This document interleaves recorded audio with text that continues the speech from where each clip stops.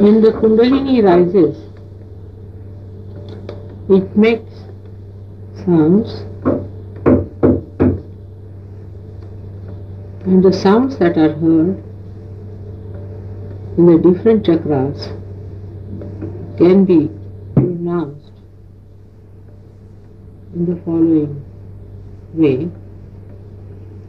These pronunciations are being used in the phonetic language of Devanagari, which means the language spoken by the Devas.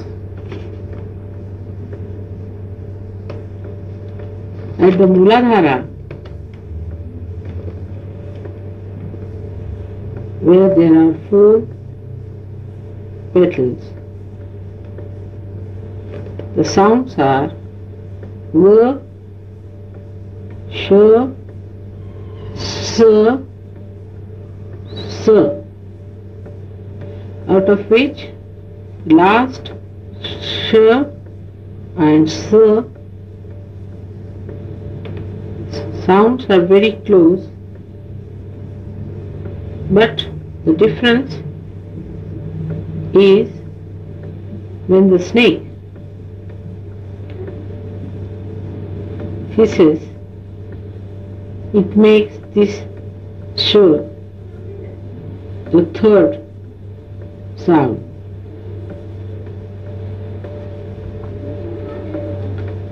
So va sh sh s.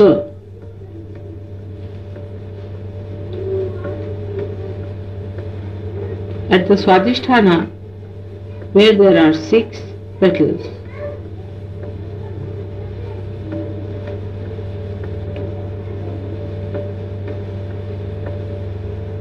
it makes sounds. Six sounds.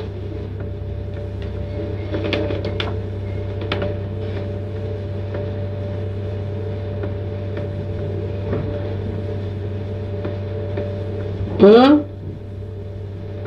B, M,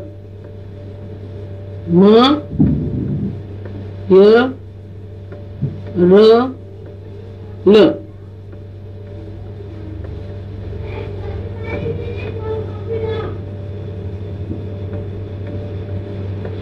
Manipur, it has 10 petals.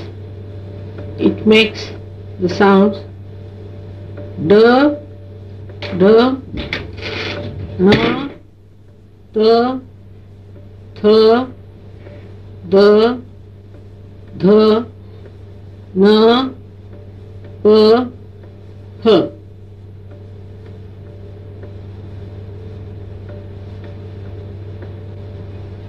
At Anahata, there are 12 petals. It makes the sounds K, K, G, G, G, Ch, Ch, J, J, Ng, T, T. At the Vishuddhi, where there are 16 petals, it makes the sounds of all the vowels.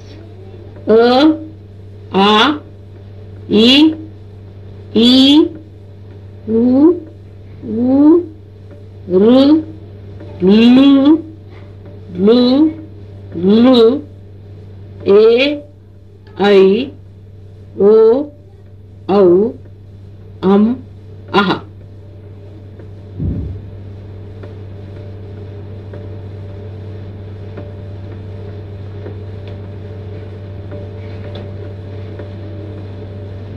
At the Agya Chakra, it makes Ha, Sh.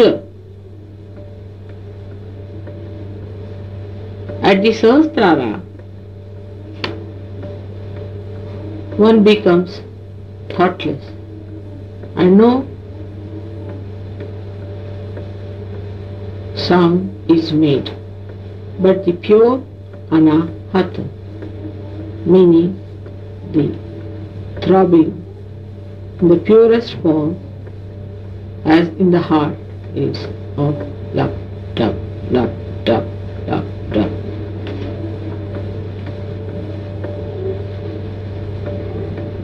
When all these sounds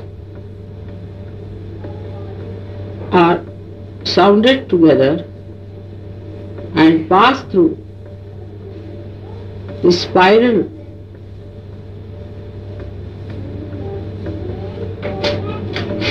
of the body if the body is like a couch.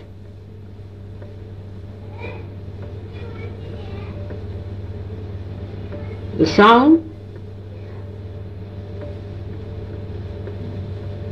that comes out of the synthesis is.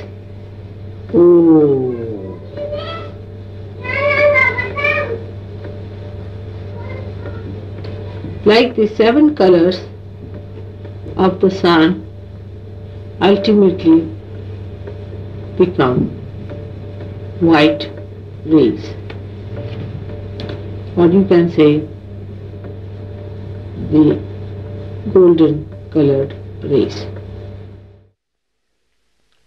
Now the sound of Kundalini, I have told you in one of my lectures, how it creates sound. For example, at Vishuddhi, it creates the sound of all the vowels that are in Sanskrit language.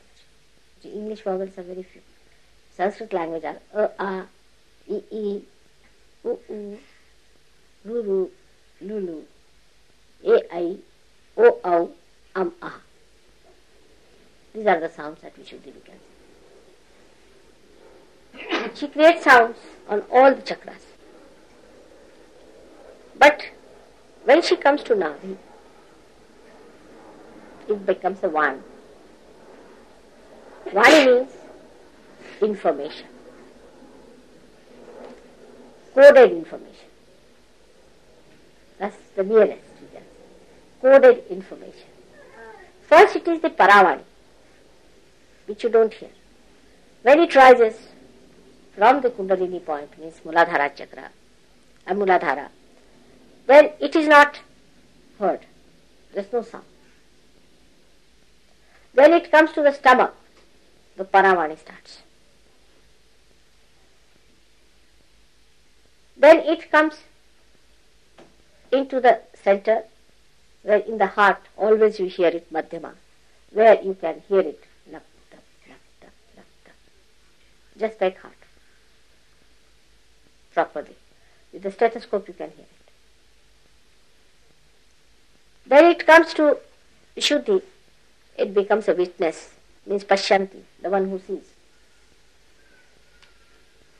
You might have noticed yourself when you are caught up in Vishuddhi, you feel the thing going on here. But here she sees. Then this sound, which is the sound with, with which you speak, when it comes to the throat, it becomes Vaikhari, it says. This is even before the Kundalini is there, the Vani, the coded information, the language, which is first only coded, becomes decoded here. It is called Vaikhari, which talks. But after realization, the Kundalini enlightens the Vani, as it enlightens everything else. Because of that enlightenment, your mantras become enlightened. And that's how when you say a mantra, it is effective. It's lighted. Before this, any mantra said has no meaning. It's just ordinary one, just like any ordinary person. So it is called as the mantra which is Jagrut, awakened. So a mantra which is Jagrut cannot be created out of a mantra which is not enlightened.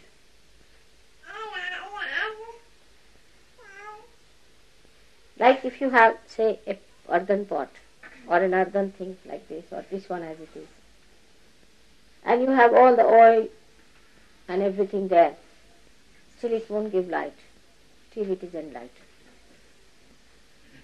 In the same way, the mantra is nothing, it's just a dead form. Unless and until it is enlightened by Kundalini, it is from ordinary Vani,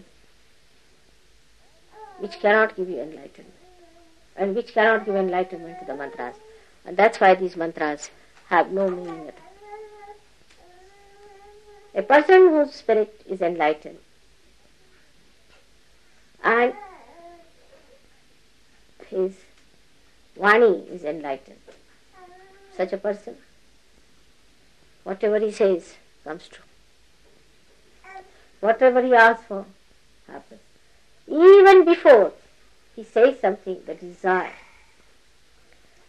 the desire within us, which is the paravani, which is the coded information of the desire you have, becomes enlightened. And that's how you get the result. Suddenly you get something, you said, oh, I have struck the jackpot. And mother has done it. That's how it works. The whole system works out this way of Kundalini. So this pure Kundalini creates purity. Without the purity we cannot see anything. Anything that is impure, say, uh, say my hands are not clean, I can't see the lines. Anything that is dirty, you cannot see the real picture of it. You cannot see the reality if it is not being purified. But even if it is superficially purified or artificially painted, still you can always say that it is artificially painted and we cannot see the beauty of this one because this is done from outside. But Kundalini burns off it, bhasmasat, makes everything into ashes. And whatever remains is the pure gold of the spirit within us.